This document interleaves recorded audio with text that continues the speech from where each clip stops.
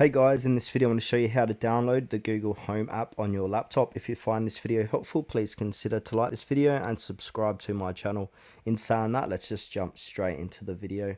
Okay, so the first thing we need to know that is the Google Home app is designed for mobile devices, so this is Android and iOS. There isn't a native Windows or Mac version of the app that you can directly download. However, there's a few different ways how we can do this.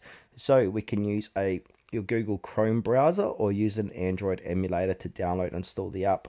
So the first method here is to use the Google Home app on your browser. So open up Google Chrome or whatever you like to use and then go to home.google.com and then sign into your account. From here, you can manage some Google Home and Nest devices inside of here.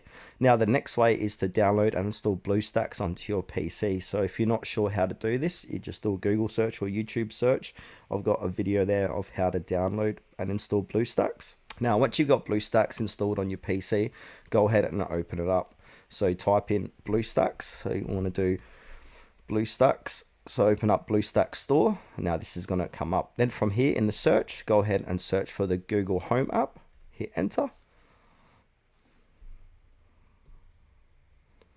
So here it is here. From here, we can go ahead and click on install from Google Play.